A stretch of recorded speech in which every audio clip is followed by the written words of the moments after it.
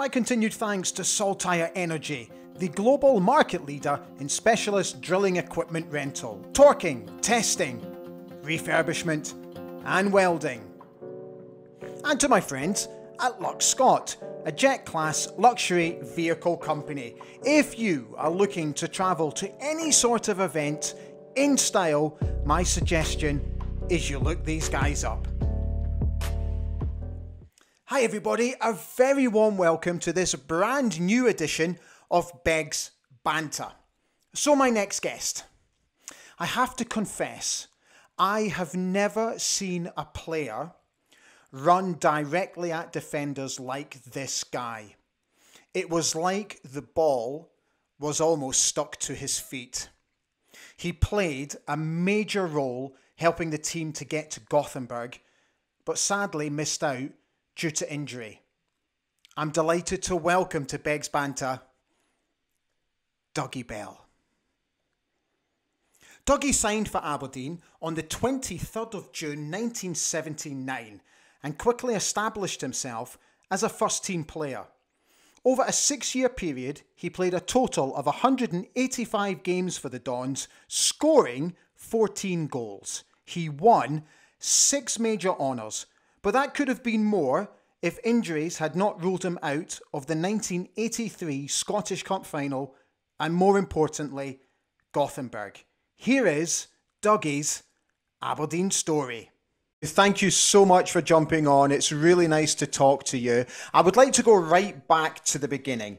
When Sir Alex left St Mirren for Aberdeen, did he ever have any conversation with you that he would actually like to take you with him? No, I never had that conversation, but it was my last game for St Mirren. We played Celtic, and I just made my debut in the, the midweek game against Partick Thistle. And uh, I came on at half time against Celtic and I scored probably the best goal I ever scored. I beat about four or five players, an amazing dribble, and scored at an angle. And after the game, he gets sacked. So I was a bit disappointed because I signed a, a contract for the, the next season. And when he went to Aberdeen, when we played Teddy, when we used to play Aberdeen reserves, I was in the reserves the following season. I never got another first team game. Uh, Teddy spoke to him a couple of times, and I kind of knew he was he was quite a fan of mine, but I never spoke to Sir Alex at all. Okay. So, so when you did join Aberdeen and you rejoined Sir Alex in June 1979, did you notice any differences in his character since he became new Aberdeen manager? Well, he was what's the word? He, he was quite uh, on my case a lot at St Mirren and okay. it never changed when I went to Aberdeen, which was good because it meant I had to work really hard. But when I did go up, it actually I went up the last game of the season. That was a reserve game at Pittodrie, and uh, Teddy Scott says to me before the game, "Look, Dougie, I think you're a really good player. Just go and take everybody on. That's what you're good at." And then I'll tell Sir Alex, well, wasn't Sir Alex saying, I'll tell the boss that you had a good game, and it, that's what happened. And the next day, I went in and signed, and uh, the manager says to me, I want you to stay all, all summer in Aberdeen and train. So by the time the pre-season came, I'd hit the ground running because I've been training every day at Pittodrie. Yeah. The whole close season. Could you sense in the early days that there was something special on the horizon at this football club? Well, I, when I went, I, I just the, the, when I went up Pittodrie the first time, I'd played there a couple of times in reserves, but there was something just I felt was something special. But for me, Aberdeen, Pittodrie, I just just the stadium was is the, Aberdeen was that clean, and uh, it was it was a great opportunity for me. After release for St Mirren, I, I, just couldn't believe my luck that he, he gave me a chance. Can you recall your debut? My debut was against Tottenham Hotspur. Mm. Uh, we won 2 0, and their midfield was Glenn Hoddle, Ossie Ardiles, and Ricky Villa. And uh, I thought I'd done quite well, one two nothing. And uh, the next day we were in watching it in video, and the manager slaughtered me. Did he? For at the park and picking up runners and all that. And it's the first time I've seen myself on TV. Okay. So it was interesting watching it, but I couldn't wait for it to finish because every time something came up, he kind of picked me out. Hmm. Did you but, notice? Did you notice a big difference in quality, Dougie, from from when you had played at St Mirren to now playing at Aberdeen and making your debut? Well, you had Willie Miller, Stuart Kennedy, mm. Joe Harper was playing then, Drew Jarvie, all the young guys were just beginning to come through. Mark McGee, I, I knew before, he's coming old boy. Striking, there was good, but there was good players at Man as well. Be fair, because I'd, I'd been training full time with them, Frank McGarvey, but Aberdeen had a big squad of really good players, and it, you could right for the you could sense there was a real Steve Archibald as well was there, so yeah. it was a strong, strong, strong squad they had. Right, let's do the first of these quick fire questions. So you can answer them as you wish. You can answer them in one word answers or you can give me longer answers. It's entirely up to you. So your first quick fire question is Where did you lodge in the early days when you first moved to Aberdeen? Well, that's a good question, Ally, because when I'm up, Sir Alex put me into digs okay. where, at Constitution Street. Okay. And uh, the the girl that stayed above was my future wife, Hazel. No way, really? Yeah, yeah, and, and uh, she wasn't. A, uh, I hadn't really met her, but her mum had said to her she'd been away a holiday, and mum says there's a good-looking guy down the stairs that you'll really like, and it was that was and that we started dating, and that's how. So it was just, it was just kind of fate. Yeah, love at first sight. Yeah, no, we, we're, we're married. Been our forty years anniversary this year. Yeah, it's fantastic. Wonderful, wonderful. Who did you hang out with in the early days? Well, initially, initially, I used to kind of go home a lot of weekends because I was, I was still only just kind of turned, I think it was 18. Hmm. So I used to take all my washing back at weekends for my mum to wash. So I went back to my mum and dad's at weekends. So it was it was quite, but the training, we used to train afternoon as well. So morning, afternoon. So I never really, Derek Hamilton, I used to have the odd pint with him. Yeah. Derek Hamilton, he was kind of, I was, he was kind of ages with me, and uh, we kind of with the same, shared the same kind of wrath of Fergie. So it was good to get with somebody that felt the same as me. Can you recall what you spent your first bonus on? Yeah. Uh, no, I can't. I was I was always been a wee bit of saver, so I think when I went up there, I was looking to buy. A, I bought. I think I bought a house when I was twenty. Okay. So I was kind of looking to get myself one place. So that's probably what I'm doing. It deposit in the house. Okay. So were you slightly disappointed not to get on the pitch in our what eventually turned out to be our league-winning game against Hibs at Easter Road because you were one of two unused substitutes. The other one was Drew Jarvie. So were you disappointed?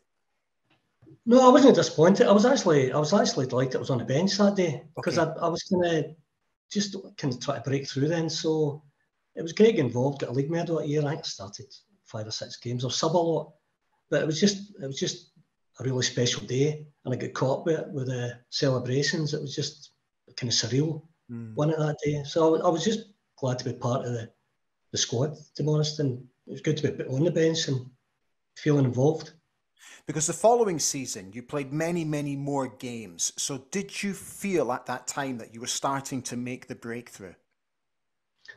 I, I think when I realised I thought I might be good enough was we played a kind of pre-season tournament against Man United, hmm. Southampton, and West Ham, hmm.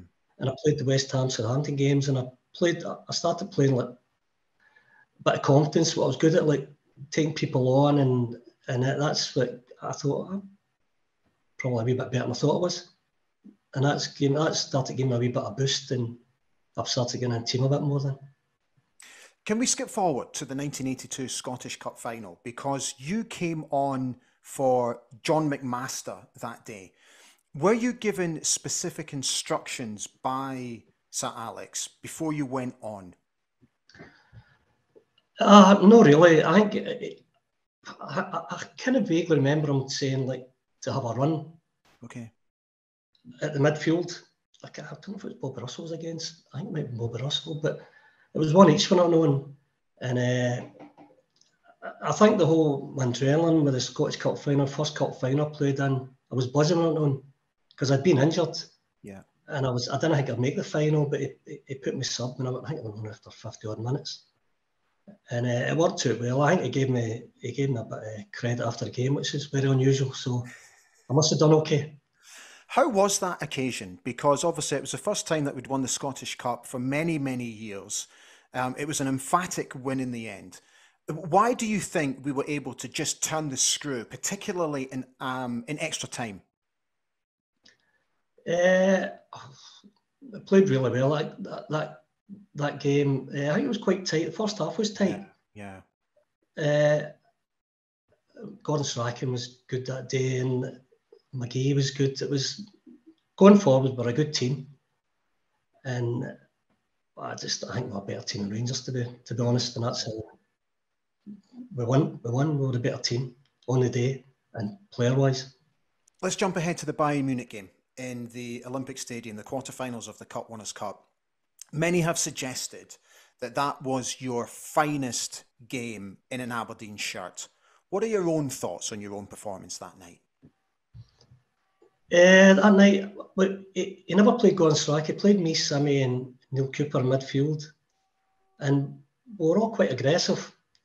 But it gave me a wee kind of wee bit of freer rein to go forward because hmm. Sammy and Tati were better tacklers than me. But whenever I played with they two, I always enjoyed playing them because they worked. They always gave hundred percent. So, uh, lucky enough, I played quite a few games with with the two of them. But I just remember that game. It was again, adrenaline was was going, buzzing, the Olympic Stadium, playing against the top players. I just, I think the European games just suited me. And I, I did get a wee bit, uh, it gave me a wee bit of more a freer rein in the games to, to actually take people on. But uh, to be fair to myself, I did tackle as well, and I worked hard. I think that period of time with a really hard working team. Yeah. And nobody, nobody let the team down. Even the better players, Strachan and McGee and the, the, the, the defence was a was the key, I think. No Leighton, Kennedy, McLeish, Miller, Big Dougie. And everybody else worked defensively as well to help, but they were they were the ones that, that really were based on, I think, their success. See that game, Dougie, I've always wondered if the confidence that you gained from that game set you in good stead for the way that you played against Waterschei because that night at Pittodrie, you almost played without any sort of fear. Is that a fair assumption? Well, I think that that season, the, I think I started all the home games except the Bayern Munich game or sub. Hmm. And I think all the games we started really well, all the home games. And uh, it, the boss did say the games get at them right away. So it, it was good for me because usually it was the opposite to be more a passer and keep it kind of tidy and keep my shape. But the games I got to be more kind of I can get let loose a bit, and uh, it, it, suited me. And it was just the, the, the European nights Pittodrie was just special. I love playing the games. They're the ones I always remember. Yeah, and the fans were great and just a, a great atmosphere. It was an incredible start to the game. Did you ever think that you would make such a brilliant start? No, because you don't really know. Archie and the manager had talked about them, and he, he never, he always kind of uh, said they were good players you're playing against, so you kind of knew roughly the shape of them and what they'd done, but you never knew to run the park.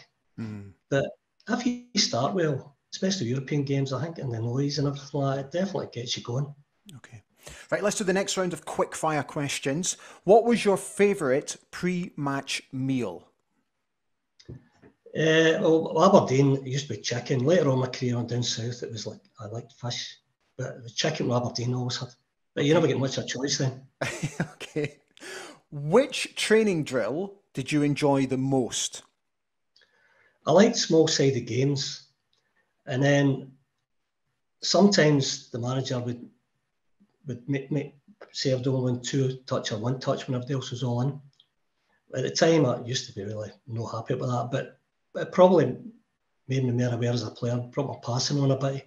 Mm. And in fact, when I got older, I realised my passing was better than what I thought it was. Mm. When I had to rely on my passing rather than when I was younger, I just wanted to take people on. Mm. What training drill did you least enjoy? Teddy Scott used to do this thing at Seaton Park called the Snake and you had to lie down and then jump up and jump on somebody's back and then jump over them. And I hated that. And it went on for ages. That was one of his warm ups. and he had another one in the car park where it was one for Jim Leighton.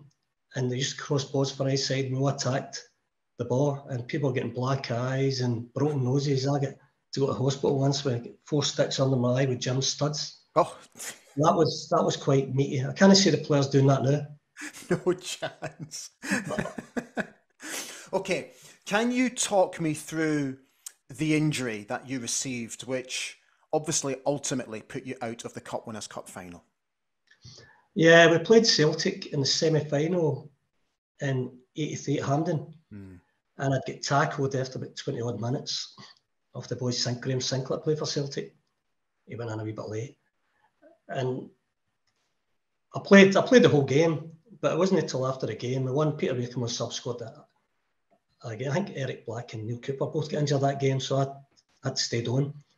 But going up in the bus, my ankle swelled right up, and the next day Alec Ferguson and Archie Knox took me to the hospital, and they said I'd fractured my ankle, and they put it in plaster right away because the final was only I think it was maybe two or three weeks away, and uh, they put it in plaster for a week, took it. I think I played the last game of the season against Kilmarnock it wasn't right. And then uh, the manager arranged the game Easter Road on Sunday before we flew it, and I played in that, and then I get tackled, and it kind of went again. Okay. So I was, I was struggling. For, in that game at Easter Road, when you got when you received that tackle, yeah, did you know instantly that's me out? Uh, I kind of thought I Archie Knox says in half time, look, you're doing well, son, but if you want to start the final, you have to show you're 100%. Yeah. So I started running with the ball. I'd been a wee bit guarded the first half, so I thought I'd start, and I went full out and I get tackled, and I felt it go again. but I was kind of hoping I might have been stuck on the bench because I previously I'd played a couple of games with cortisone jabs. Okay. But, uh, but then, because he'd already told Stuart Kennedy that he was going to be on the bench, I don't think he could take a chance putting 200 players on the bench, which was fair enough. Okay. So when did he breach the subject with you that you weren't even going to be part of the squad that night? And how difficult was that? well, we went over and I'd been doing kind of light ankle stuff, just jogging, and I was still kind of hopeful I might go on the bench and uh, they were the first the team were training, and I was kind of just kind of doing wee bits and pieces. And he took me, pulled me aside, and he said he wasn't going to use me. And I'd say to him, look, could you know, give my cortisone and put him on the bench like he'd done a couple of times? He says he can't because Stuart Kennedy had been promised a place on the bench.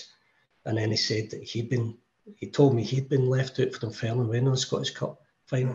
Mm-hmm. But he says, look, son, you're young. I think I was only 21, 22 you'll get more chances in the future. So just be strong and then go on it.